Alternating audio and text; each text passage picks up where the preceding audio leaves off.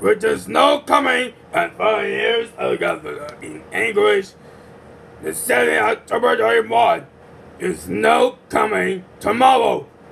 An explosion logo timer is here. It's only a barbecue and we get a barbecue it.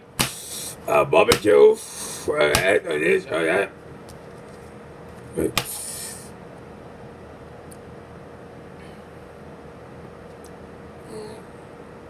Cash! Go on! Okay, but the snow is coming! The two family cards! Explosion logo! Who first when they get turned out? On the system!